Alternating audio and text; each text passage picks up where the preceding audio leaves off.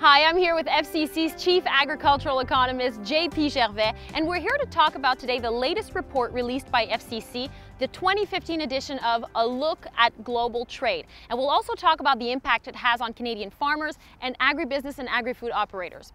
So JP, what is this report all about? Well, this is a report that we put together on an annual basis, and it looks at Canada's competitiveness or competitive position in world markets when it comes to trade of agricultural commodities and food products.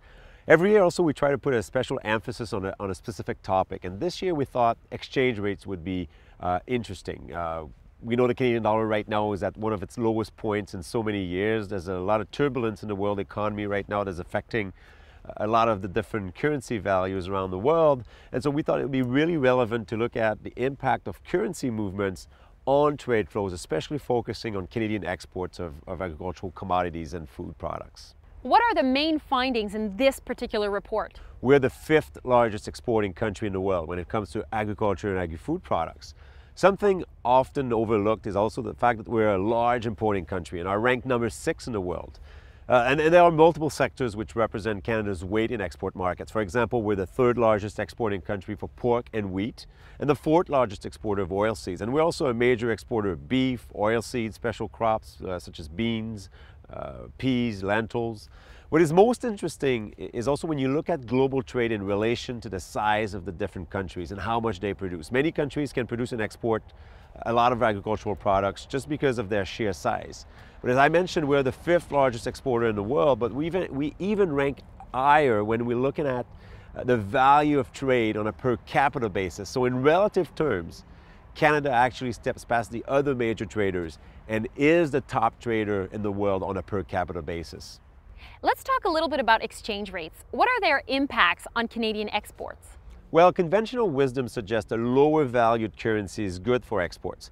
In other words, as our currency value drops, the value of our exports goes up. And we find this to be true to some extent. You know, for some sectors and destinations, uh, the value of the Canadian dollar against the value of the other uh, importing country's currency is not the main determinant of trade flows. And, and this is important to understand because you don't really want to build a competitive position based simply on the value of exchange rates.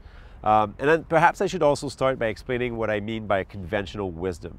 When the value of the loonie declines, and the loonie being our, our Canadian dollar, when it declines relative to the US dollar, it lowers the cost of our exports to the US. That's because the same number of US dollars can now be used to buy a greater number of Canadian products. In theory, more US buyers should step in as our exports become cheaper relative to other similar products. Uh, and this should also lead to increased sales in the US market. We also need to realize that it takes time for, for Canadian exporters to increase sales in other markets. You need to find buyers, sign contracts, and so on. On the other hand, if our dollar gets stronger relative to the US dollar, our exports will cost more for US buy, buyers and, and it leads to lower exports. A couple of important points to remember are that each export market is at its own currency. Our exports to Japan are in part uh, a result of the value of the Canadian dollar relative to the Japanese yen. But a lot of the products that we export to Japan are priced in US dollars. And so you need to bring in a third currency. It's not just the, the value of the Canadian dollar relative to the Japanese yen, but it's also the value of the Canadian dollar relative to the US dollar and the value of the US dollar relative to the currency in Japan. So there's a lot of different factors that you need to account for when you try to evaluate the impact of, of the Canadian dollar or the value of the Canadian dollar on our exports to different destinations. You mentioned some differences in the impacts of exchange rates depending on sectors and countries. Could you give us some examples? Absolutely. Let's think of food manufacturing first. Exchange rates matter when it comes to our exports of food products. When we investigated the issue and found that over time, a lower Canadian dollar against the currency value of the US, Mexico, or Japan increases our exports of agri-food products to these destinations. It's not, it's not a surprise, really. A more competitive position yields more sales. We also found that the adjustment is almost right away when it comes to our exports to the US market. And that makes a lot of sense. We export 71% uh, of our exports of food products actually go to the United States and we have a very well established relationship with the US market. It's a little bit different when you look at our exports to Mexico and Japan. It takes a little bit more time to establish that, that competitive position when our, the value of our currency comes down. Uh, the Canadian dollar doesn't seem to have as much impact on Canadian agri-food exports to other destinations like China and Europe.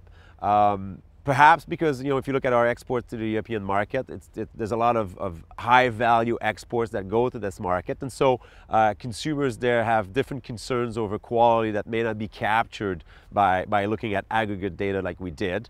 Uh, and in the case of China, well, maybe Chinese imports of food products are not that sensitive to movements in currency value. They're more responsive perhaps to the growth and income that we've seen over the last, uh, the last few years in China.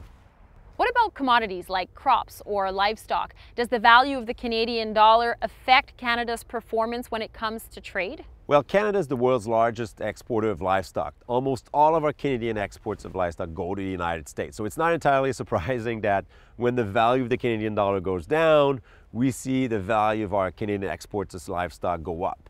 Uh, it's a little bit different when it comes to crops. When you think of crops, it involves a really diversified set of, of commodities. You're thinking of wheat, canola, fruits and vegetables, uh, special crops. And when it comes to our exports of crops as well, we're a lot more diversified. About 25% only of Canadian crop exports goes to the United States. And yes, when the value of the Canadian dollar goes down, we see the value of Canadian crops uh, exports go up, uh, mostly because these commodities are often, if not always, priced in US dollars. But over the long term, when we look at three months, six months, nine months, and a year down the road, we really don't find a really a significant impact in relation to the lower Canadian dollar. So in other words, yes, short term we'll see the value of Canadian exports uh, crops go up when the Canadian dollar loses value against the US dollars. But over the long term, because our exports are so diversified, we really don't see any significant impact. The bottom line is that there are other factors that impact the competitiveness of Canadian crop exports in the world markets.